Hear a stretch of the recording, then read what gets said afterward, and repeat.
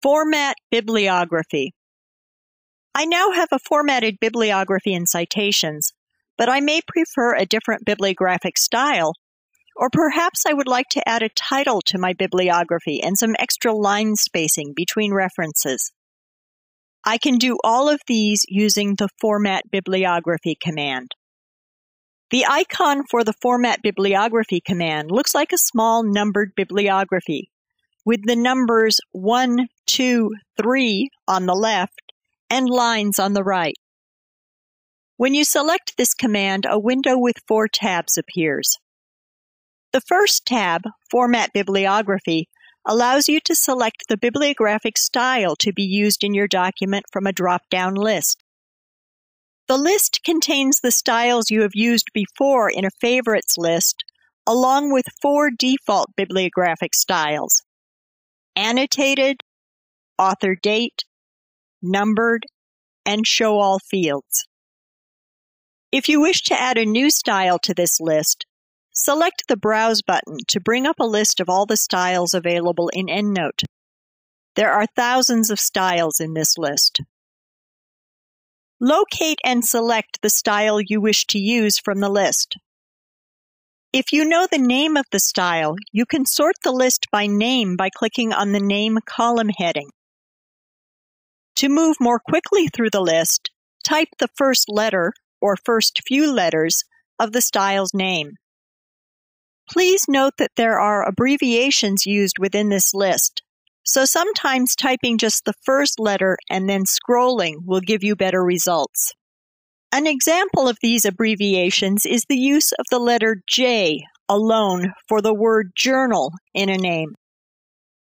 I will locate and select the APA fifth style from the list by quickly typing APA, then selecting the OK button. I now see APA as my selected style. The APA style also requires double spacing for my bibliography, and I would like to add a title centered above the bibliography. The Layout tab will allow me to change these options. On the Layout tab, I can select the font and font size that will be used for my entire bibliography.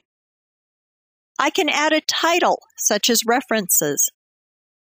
If I want to format that title differently than the rest of my bibliography, selecting the title's text then selecting the Text Format button, I can change the font style for just the title. If I were using a numbered style, the Start with Bibliography Number option would let me start the bibliography with any number I wanted.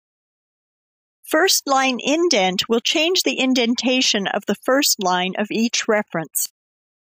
Whether or not there is a hanging indent is set in the style.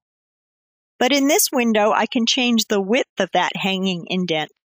The default is a half inch. The line spacing option applies to all the text in the bibliography, and here I will change it to double to match the APA requirements. The Space After option allows you to add extra spaces between references. These will be in addition to the spacing you have set using the line spacing option. The Instant Formatting tab allows you to turn instant formatting on or off for the document you are working in. The Libraries Used tab tells you which EndNote libraries were used to create this document. Most of the time you will work with just the first two tabs, Format Bibliography and Layout. When you have set all your options, select the OK button to apply your changes.